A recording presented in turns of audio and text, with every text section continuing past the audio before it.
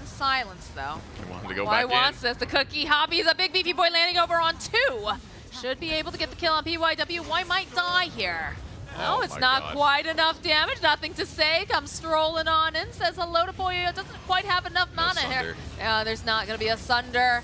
And this is going to be a dead DY. NothingToSay with 50-something hit points. Absolutely slaughtering Vici Gaming. And they nailed the ward because before NothingToSay TP, there was a weird concussive shot. So man, they're just taking everything from their opponents, pushing the limit.